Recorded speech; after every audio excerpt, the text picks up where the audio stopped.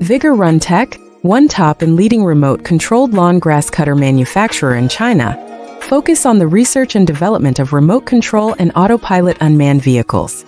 Tracked Remote Operated Lawnmower Robot is our current main product, widely used in lawn mowing, weed cutting, and bush trimming, suitable for slope, steep incline, wasteland, roadside, orchards, gardens, wildfire prevention, riverbank, and so on.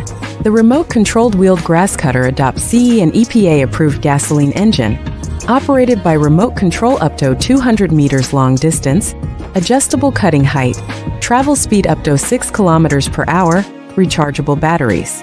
Based on the in-depth understanding of our own products, we can provide the best after-sales services. We are looking for distributors and dealers all over the world.